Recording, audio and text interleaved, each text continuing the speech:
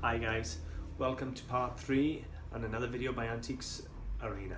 My name is Walter Neal and as I said this is part 3 of the Splott buy-in day.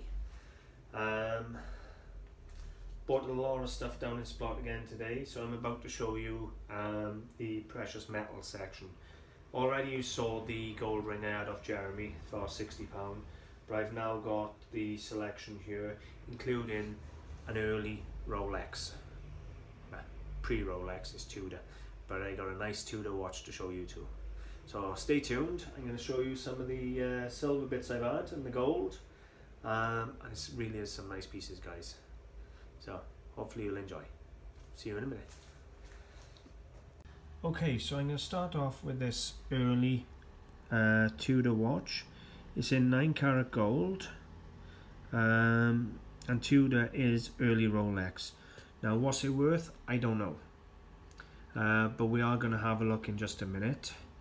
I think it needs attention um, a little bit. It is ticking uh, because this has gone round somewhat. It was down here when I bought it. So that must be the minutes as well as these.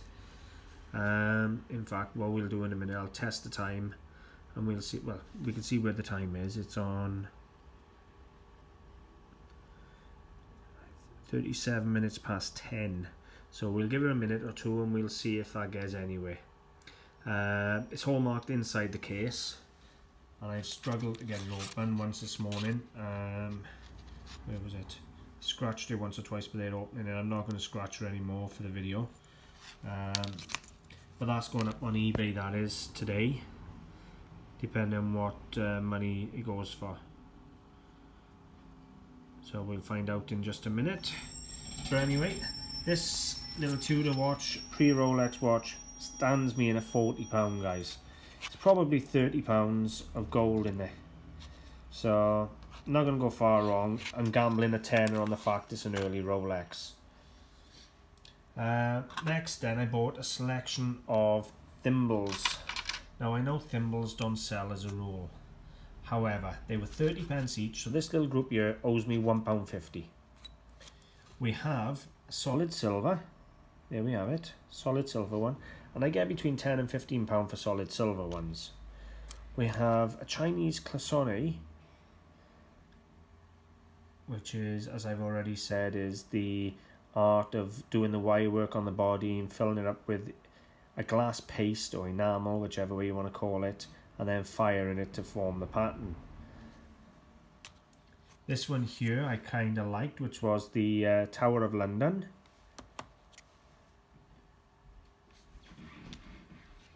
Here we have Robin Hood, I think it's Robin Hood. Could be wrong, but it looks like Robin Hood to me. And then this one, I love this one. Kennedy Space Center, Apollo what number you? Apollo? You can't just be Apollo, it must be the first one then. So the Apollo, Kennedy Space Station. What an interesting thimble. Probably not worth a lot of money, but uh, as a little job lot, I may put the, the silver one goes in my case, obviously, but the others I may put the four on on eBay and see if there's any value in them. We'll have a look together now in a minute if there's any value in thimbles at all. Um, Next I had this case, a little beaten up. Um, and this was one of my mistakes. Now, I bought it quick out of a lot of silver because I was in a rush because everybody was snatching at the silver. You can see it's fully hallmarked, but look at the split down there and down there. Now I paid £20 for that and I absolutely love it, except for those two splits. They don't really stand out that much and I could have them soldered and smoothed for very little money I suppose which I may do. Um, but it stands me in at twenty pounds, so I'm, I'll probably chuck thirty quid, thirty-five quid on in, just get a quick profit and let them sort it. Uh, what was it on weight? I think it was about fifty grams, something like that. So let's have a look on weight. 43.4 grams so it's about 15 18 pounds scrap silver so I haven't really lost a lot of money if I can't sell it uh, while we're on the zero here let me grab these we have a beautiful pair of 9 karat gold cufflinks And there we have it, 3.3 grams. They owe me 30 pounds. bear with me guys, sorry. That's right. There we go. 375. 9 carat gold. Beautiful finish.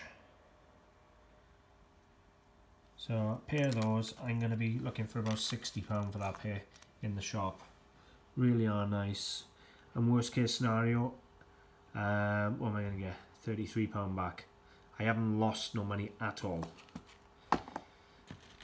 Now, in with the Rolex for £40, I was quite clever. As you know, I have a window display where all cheap silver is £10 a necklace. Well, I threw in this one which is little glass beads and silver beads all solid silver I threw that one in for free so there's going to be £10 of my £40 back on that uh, Tudor and I also threw in this one for free which is a nice little cross still got somebody's hair so I hope to God that wasn't ripped out the, after a night out um, so yeah Nice silver necklace again. So of the £40 I paid for the Tudor watch, I'm going to get 20 of it back on these two necklaces. So that's going to really owe me 20 quid, so I'm on a winner.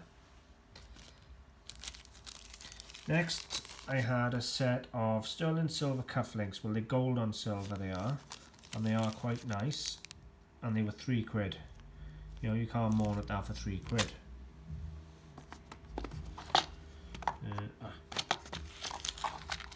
Next, guys. Cost me a fiver. It's not gold, don't get excited. It's silver. Gold on silver. Uh, but it's fully hallmarked on the clasp. Um, but again, gold on silver or yellow silver. It's quite expensive. Uh, so I'd imagine that's going to be about 15 20 pound in the shop. Uh, any more jewellery in that before I go now? I did buy a load of Olympic coins. Now, as a rule, I don't buy Olympic coins because I go to the bank and do bank runs and get them. However, the boy who brought in all the silver this morning brought in a ton of silver coins that I've already packed it up. But they were the good ones, you know, shooting and what we got. Don't know what the hell that is. That shooting again. Not sure. what Swim. No, I think that's just the Olympic one. It's got swimming, it's got shooting, it's got everything. Cycling. I've been asked to bring them in. You got uh, Paralympics, I think. Karate. Anyway, as you can see, they're all different and they're all good ones. I paid him a pound each for these purely because I got a buyer coming in this afternoon. We'll have all them off me at two pound each. So they they're a no-brainer. I don't normally pay for 50 pences, but there's so many designs I just can't get out of the bank now. I thought well, I'd rather keep my customers happy and actually pay for them so the customers have got them. So while you're on by here now, let's go through and have a look together. Uh, what are we going to look for? Yeah, we're going to have a look at thimbles a minute, see if any thimbles sell for money.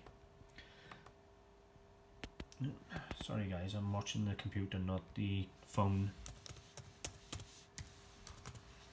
And we go for sold only. Let's see how, what the dearest is and how much. Now you're doing this with me guys, so I have no idea how much these are.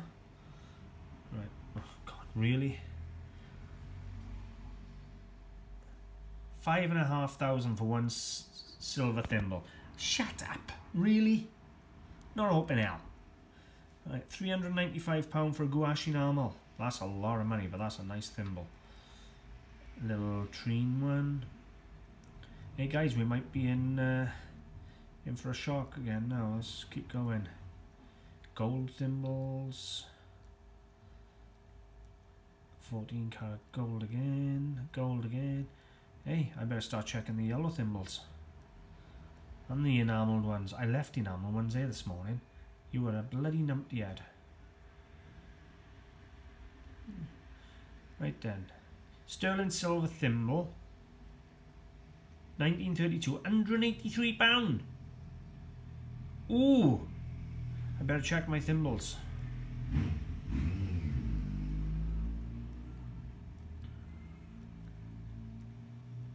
Box set of 15 lin porcelain thimbles. Christ. 380 thimbles. 150 pounds. They buy thimbles, guys. I didn't think they did, but they do. They buy them.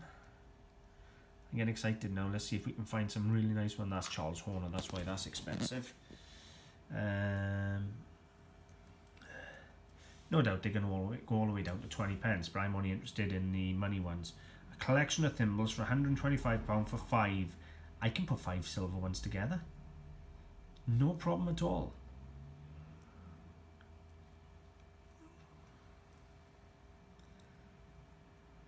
Yep, I got loads of those. 1895 Blackberry thimble. What's the one I got? It's very similar to the one I got over here.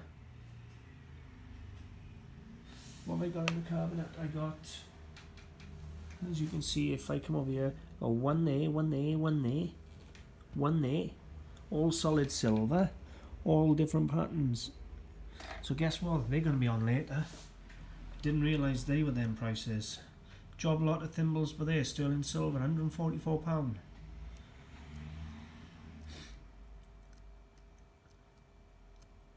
Oh ah, yeah, definitely. My uh, group of thimbles are going to be on eBay by this afternoon, guys.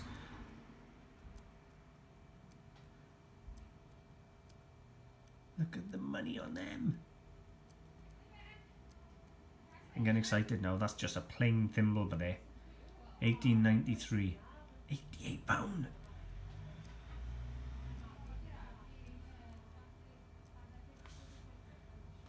Oh yes, we're getting excited.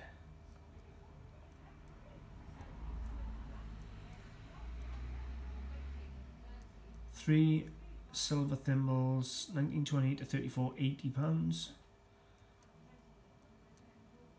77, that's gold. Sterling silver, but they in a case 75. Oh yeah. Alright then, so I can tell you now my collection of thimbles is going online today. £73 by there for that. Wow.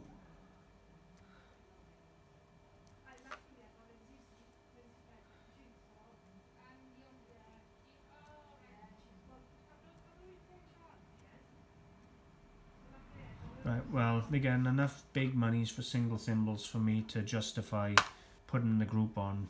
Let's have a look now, uh, if I can find the Apollo one. Apollo, an Apollo thim, Apollo 11 one for five pound odd. Right, so let's have a look if there's one currently on there.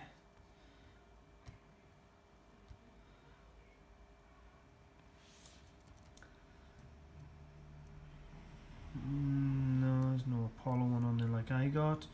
And then we'll have a look for Tower of London.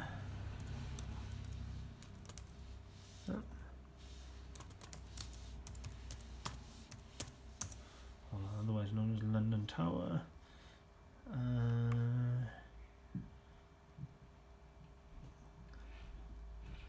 no, guys. Well, I can tell you now, right, I'm going to take a gamble and I'm going to put all my thimbles together in a little job lot like this. Those ones. And my five silver ones in a row and I'm going to chuck £125 on them all. And if I sell them, I'll let you know. Uh, what was next? Right, yeah, Tudor watch. Let's go and have a look at the Tudor watch because I haven't got a clue. Tudor 9CT.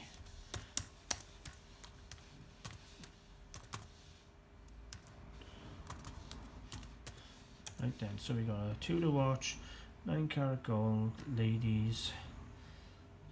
It's got sold only because that's what we're interested in. Right then, so let's see if we can find something along the vein of what we got. We've just got the, the main body, we haven't got anything else.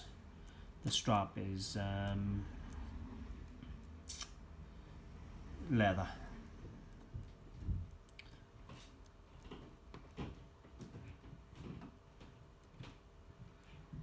Look at the money's on them all, guys, for Tudor watch.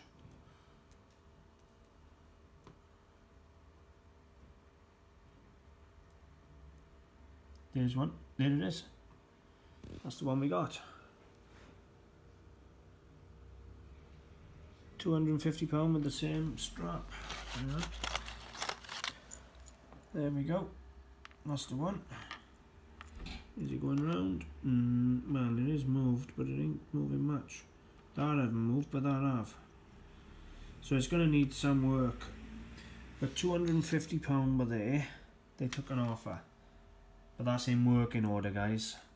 So if I put this out for 120 or best offer, needing work, and we'll see what offers I get in.